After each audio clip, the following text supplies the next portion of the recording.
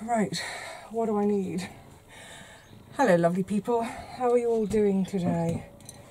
I hope you're well. I'm okay. okay, I think we can do better than okay.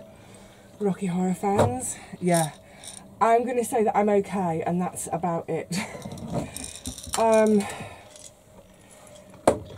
look, I mean, I've been saying for a few weeks I'm behind. I missed that chunk of time in March and April because of my back.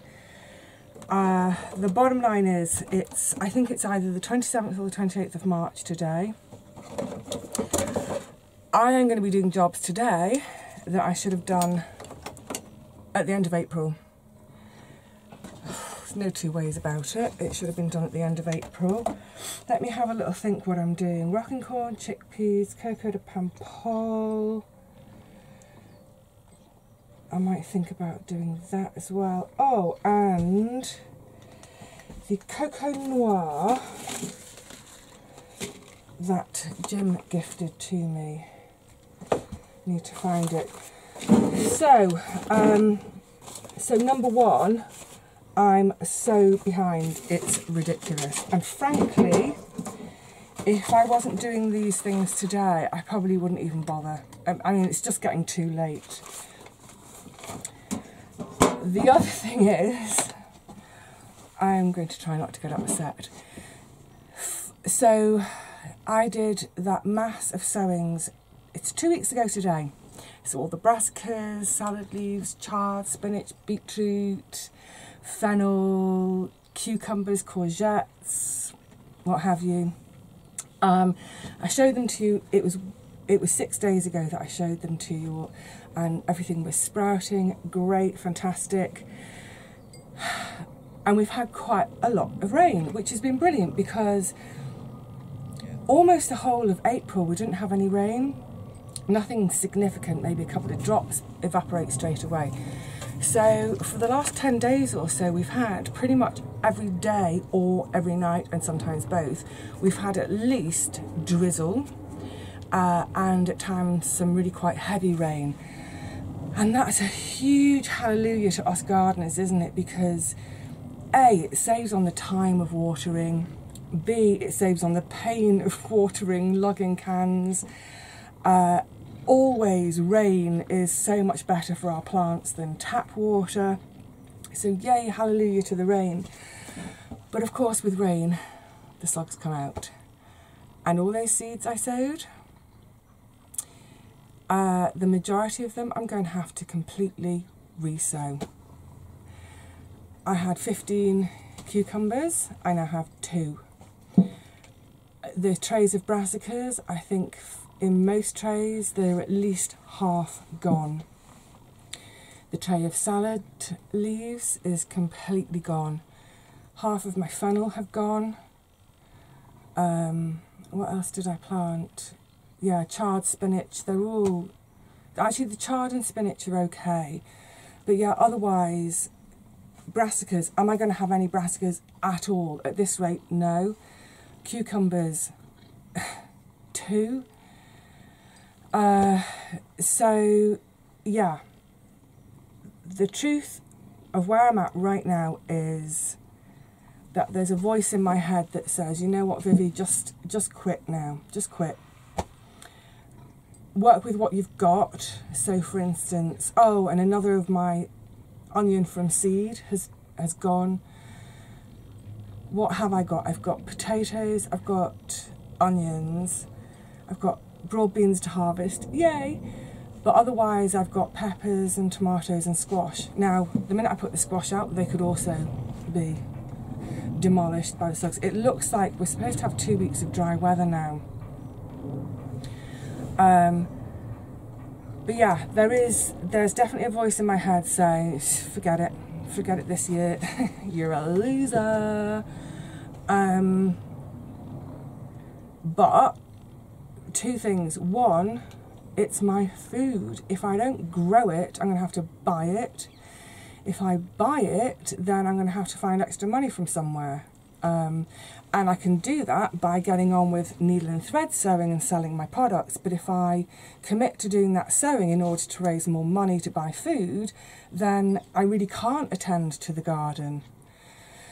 Anyway, I'm going to discuss this further at the end of the month when I do my thoughts on, because I have been thinking about it a lot this month. Um, and just to head off any of the trolls who want to say, well, stop talking and just do it. Of course, I'm going to do it. I'm going to be here all day today trying to do as much as I can. I'm going to do some direct sowing in a second, which we'll do together. And then, in terms of all my climbing beans, the beds still aren't ready. I've still got five beds to prepare. So, of course, the thing about the rain as well is I didn't come to the garden to do any work because I mean, I could have done, it'd be pretty miserable, but I had work to do indoors, you know, for the shop and sewing and stuff like that. So I still don't have any beds ready for them. So what I will also do today is just get everything sown in pots so that there's at least a chance of them getting going and you know maybe by the middle or the end of June they'll be big enough for me to plant out by which time I will have done the beds yeah I ain't gone to plant at all this year. Right, but so yeah, I was saying, you know, that it's my food. And the other reason why I just I'm going to get stuck in today is because I'm just I'm a fighter, I'm a scrapper. I will scrap to the very end. I you know what, if I have to admit defeat at some point further down the line, I'll admit defeat. But right now, I ain't admitting defeat. I'm going to crack on and see what on earth I can salvage out of this garden this year. You know, I've paid my rent. I might as well try and get something out of it. Right, come on. Let's get planting. It's getting quite warm actually and, and, and muggy. Um, yeah, come on, let's go planting. Sorry, I, I should have said, so what I'm planting today, this is direct sowing in the beds. I'm going to do my beloved Coco de Paimpol. Hopefully I'll have some left over. I will start some in pots too, in case those that come up get mullered by the slugs. I'll be doing my chickpeas. So with my chickpeas, this is my own saved seed um, from last year. Initially, when I very first did chickpeas, which is probably, oh, I'm getting sweaty, about maybe seven, eight years ago, I simply bought a bag of dried chickpeas, dried organic chickpeas from the health food shop, destined for my belly, and siphoned a few off, stuck them in the ground, and they grew. Brilliant. And then the other one I'll be doing today, these beautiful, beautiful, slim little black beans. This is my Beurre de Rocquencourt and this is a bean that I grow for the pod rather than the bean inside. Virtually all my climbing beans are for the bean inside, either demi-sec or dried, but this one I grow for the pod because it's the most beautiful, creamy, waxy, gorgeous little yellow pod. So we'll at least, oh, and the Coco Noir, where did I put it? So the Coco Noir is, I haven't even looked yet. Ah, someone was asking me about this in comments the other day that they'd Ah, I think this must be what it is. They said they've got a cocoa bean, but it was black. Is that Coco de Paimpol? And I said, no, Coco de Paimpol is white. Coco Noir. So you can see how it looks like the, um, sorry, I didn't hold it very long. It looks so similar to the Coco de Paimpol, but it's black. So they're going, but what I need to do with those is reaching for something over here. Ah! Oh, I'm an idiot. I took it out of my bag. Have I made notes? Oh, I'm an... Oh, no, it's here. I thought I'd been an idiot. I brought this down the other day because it's my notebook with my planting guide, my plan in it. And the Coco Noir were, were a gift from Jim. They came after I'd made my plans. So I thought, where can I squeeze them in? And I've remembered where I can squeeze them in. And that is a bed that is prepped. Is it half prepped or completely prepped?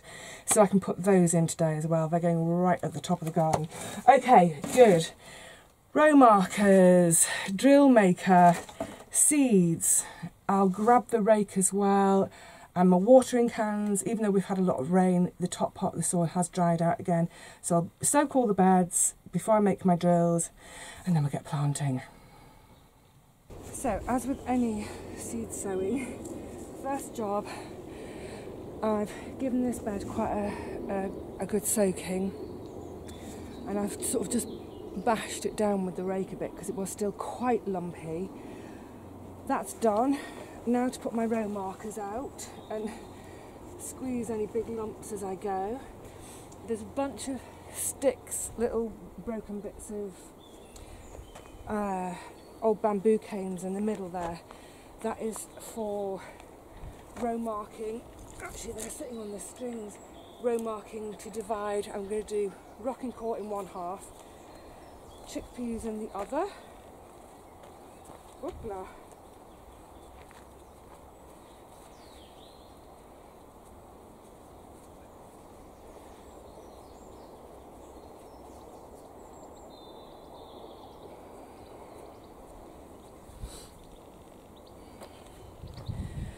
And I still haven't gotten around to making myself a fourth row marker. So I'll get these three, just make little drills. So this is, like I said, this is the rocking core, Beurre de Rocquencourt beans and the chickpeas. So in terms of their drills, oh, just a couple of centimetres.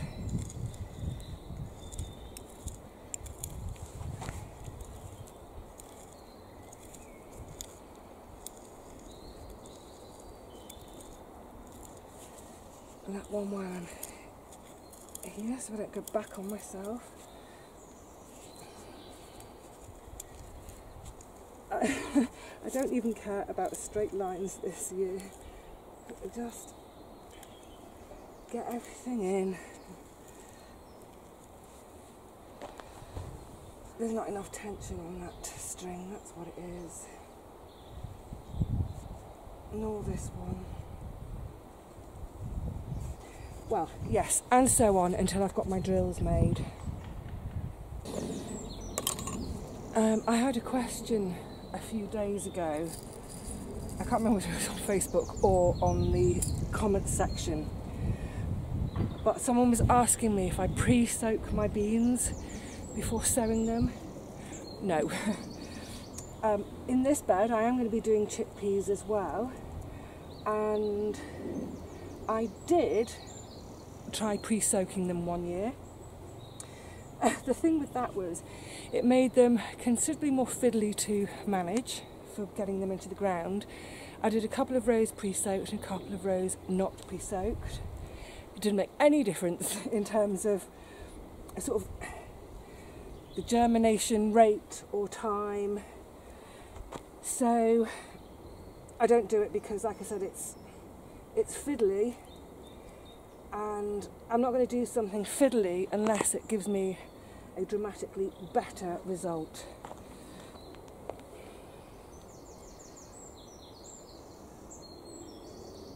So yeah, get these all popped in. Cover the rows back over, obviously. Is that obvious? obviously. And then, excuse me, I'll water them all again because oh, no. it is a warm day. It's going to get warmer, but also, as you can probably hear in the background, how annoying, we are quite windy uh, today again, and that wind can be really, really drying. In fact, I'm going to get these covered straight away. Just stop these drills drying out too much.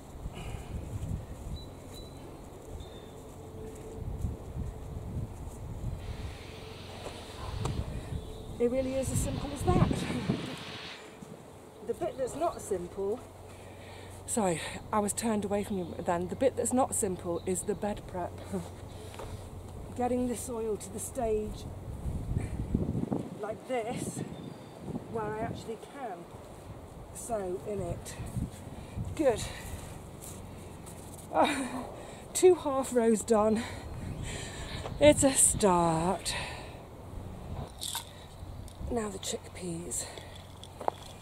sorry, I forgot to mention spacing with the beans. These rows are about 18 centimetres, 20 centimetres apart. And then I'll plant them, oh, 15 centimetres apart. I mean, I'm not, I'm not too fussed because, you know, I have, I may get poor germination in some places. If there's a gap, I'll plug it with something else. If I can find something else this year to plug it with. But yeah, I'll just let them fight out amongst themselves.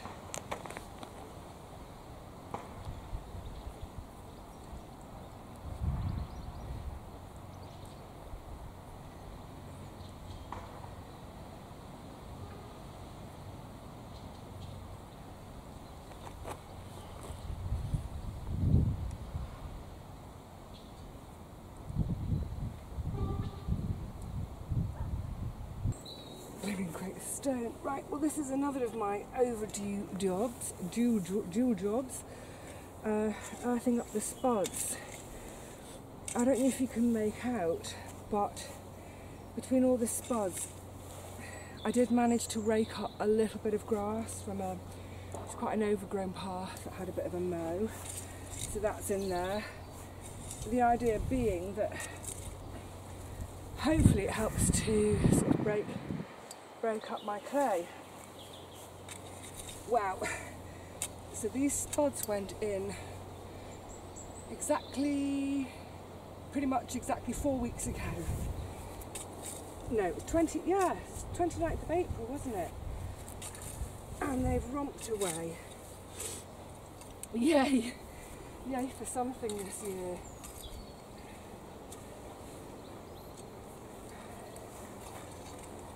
I just get this little bit done on each side and then as this the ridge in the middle that I'm drawing the soil from goes down I make sure both sides have got a bit and then I can go deeper and scratch more up.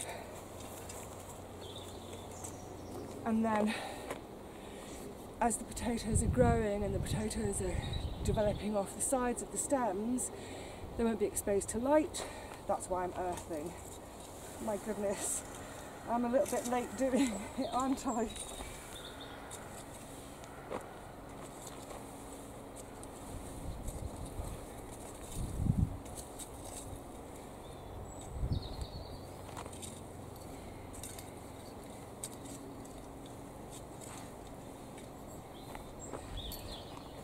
I'm obviously not going to get them completely covered now, but a little bit. Like everything this year, a bit is better than nothing. Oh my goodness. And it's getting warmer by the minute.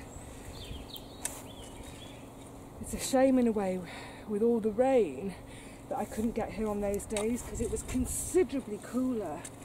And so for work like digging, it would have been absolutely ideal temperature wise.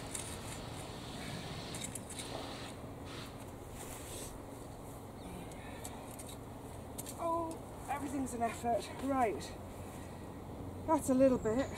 So these are the main crops, these are the Cara. I'll do the ones the other side of the rose bush and then get on with the, um, the new potatoes, the Charlotte. Whew, and have a glass of water. I wasn't actually planning on sowing any fennel direct this year. The idea was start them in their modules, pop them out when they're big enough. But, oh dear, um, I've lost three quarters of what I sowed in the modules. So it looks like if I'm lucky, if no more go, I think I've got seven in the modules. So I might, I might as well get this direct seed in because, opla, I actually have plenty of seed. And honestly, the way I feel at the moment, it's just whatever I can, just chuck it at the garden. Um, yeah, desperate measures. Really desperate.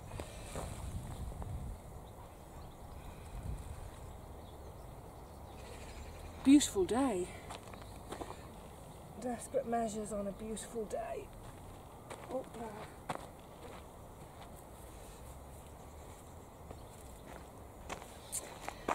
And then in the top end of this little bed, well, sorry, in this end here where the basket is currently sitting, will go my celery, which is still at home.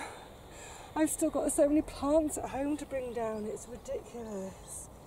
Um, so yeah, celery in this end, the fennel, and then just oh, just in this top end, just a few of the Coco, Coco Noir bean from Jim. I think, I'm kind of assuming, presuming, it's a bush type. I hope it's a bush because I'm not putting any supports in. And I think, I think I'll probably fit about 40, 16 plants in there. So if they all come up, that'll be something, won't it? Good stuff, right get these covered, watered, and then I'm going to put nets on them to stop the cats and the foxes from scratching. Actually, what I'm going to do is I'm going to put a shade net on one, well, on two rows, and clear net on two rows.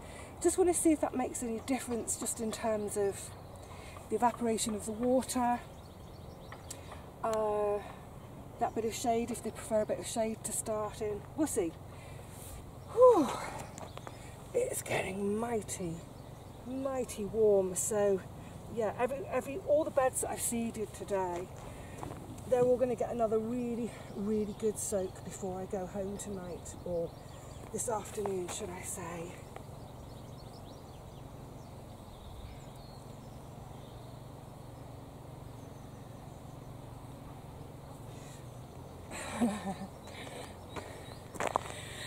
These are the best kind of hands, aren't they? Dirty hands. love it. I love it when my hands are mucky. Gosh, it's bright today. And it's getting warmer and warmer by the minute. I've just looked at the clock. My goodness, it's one o'clock. I got here at 10.30, 11.30. It's taken me two and a half hours to seed two and a half beds and earth up my spuds. That's what I mean about Oh, hey, pretty bird. So what I mean about everything just takes too long these days. Right, so um, I think that's yeah. Suddenly thinking out loud. Right, direct sowing done. Now, uh, as I was mentioning at the top, uh, climbing beans. So the areas that the climbing beans are going to be sown are not ready yet. Structures aren't in. Ah, so I'm going to start them all off in pots. Uh, some of the pots I've got are a little bit on the small side. I've got some bigger pots. What I might, oh, and I've got a load, ah, oh, yes, yes, yes. Loo rolls, because I don't have much compost. I don't think I've got enough compost to start all my beans.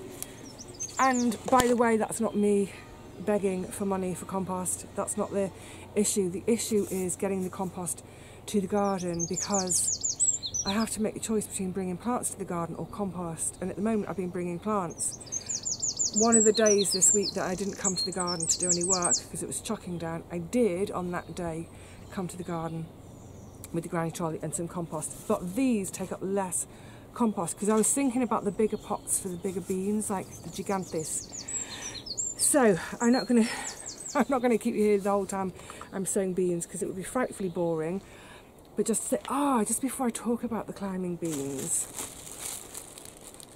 I had this come through the post the other day. It's one of these plastic bags that comes from the post office and it says, Our sincere apologies. We're very sorry the enclosed item has reached you in this condition. Let me show you the condition. It looks like there was, I don't know, maybe a little mini pet vampire in the post box because Look at this. Absolutely just shredded. I have opened it and had a look, and this one little bit has gone missing. This is from Claire at September Cottage. Thank you so much, lovely. It's some spare squash.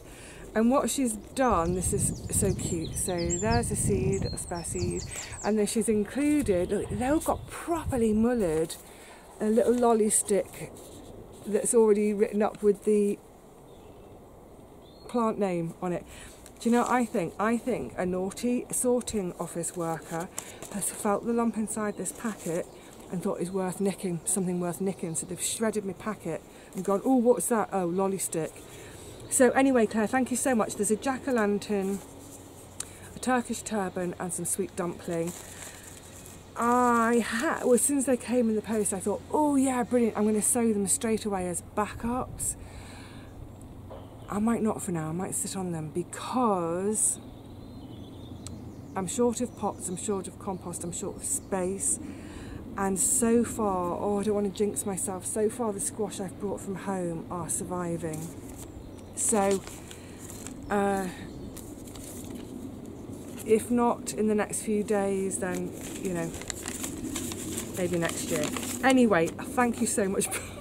I was like half eaten lovely surprise though. I knew something was coming. She'd mentioned to me on Instagram that there was something coming. And I just love that little, um, the little lolly stick label markers, plant label marker things.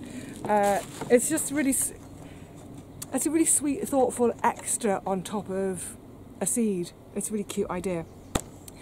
Anyway, so the climbing beans, we've got some these are good old bog standard runner beans. These are Paul's Shaz's runners. Shaz gave some to Paul, he grew them on, shared some seed with me. I've grown them on and now this is Vivi's, Paul's, Shaz's runner beans. It's Scarlet Emperor, bog standard.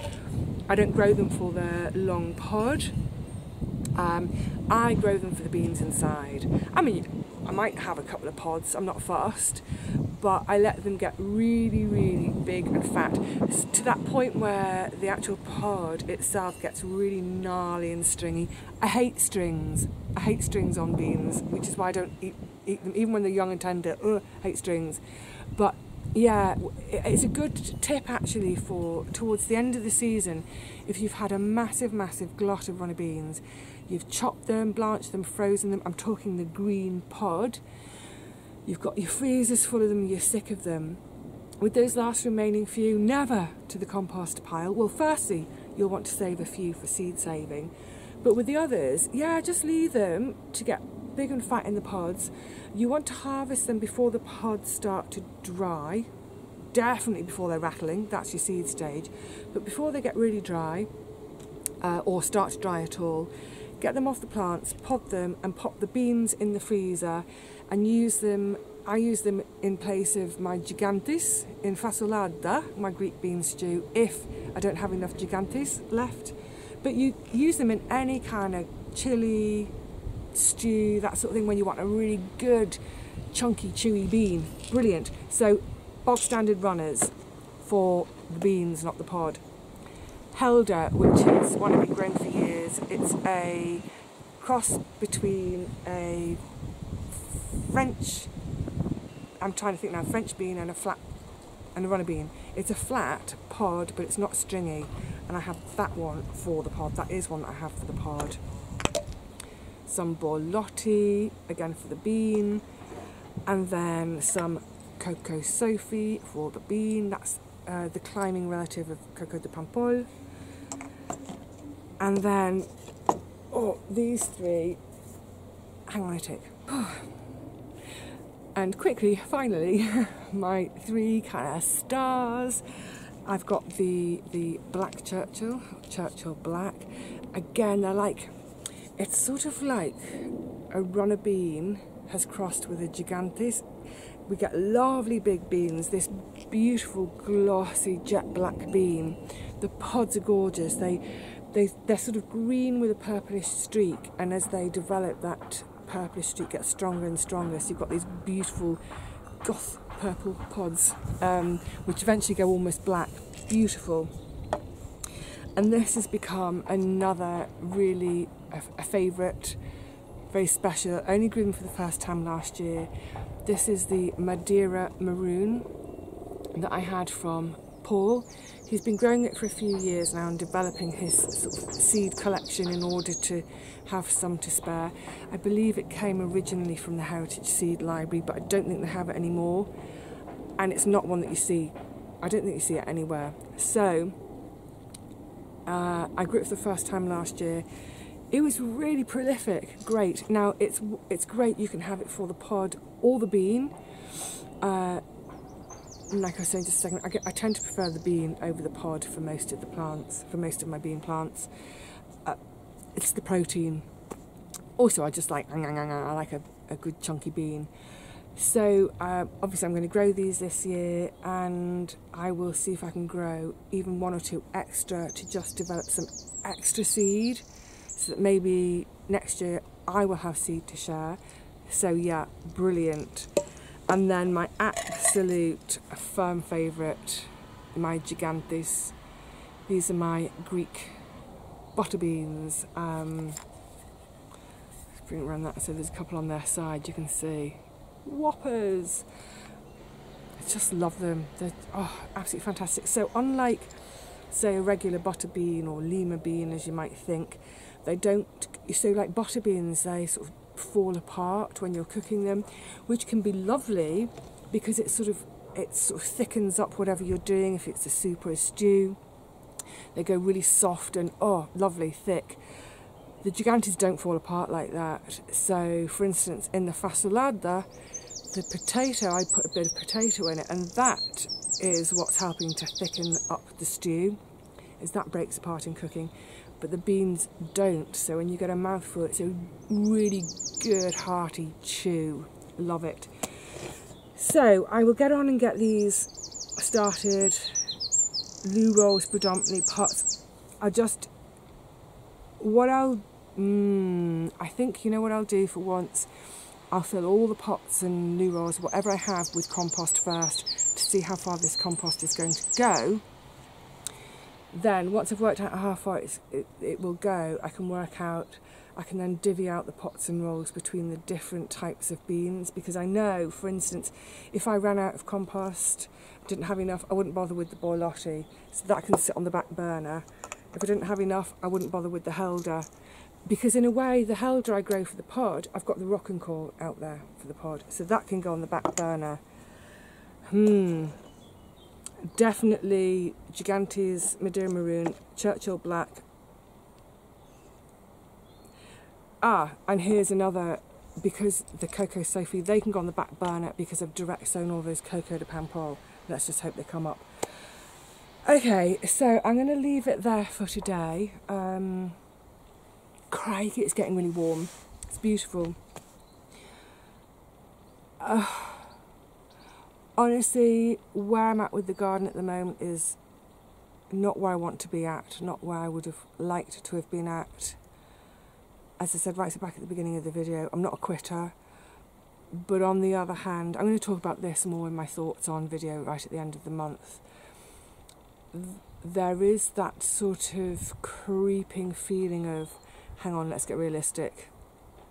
There's no point flogging a dead horse, as it were. Not that I'd flog a live horse or a dead horse. I wouldn't flog a horse full stop. You know what I mean? But yeah, um, so I think it was a couple of weeks ago, wasn't it? Three, four weeks ago, even when I was saying, let's see where we can get to by the end of May and then reassess the whole situation. So it's not quite the end of May yet.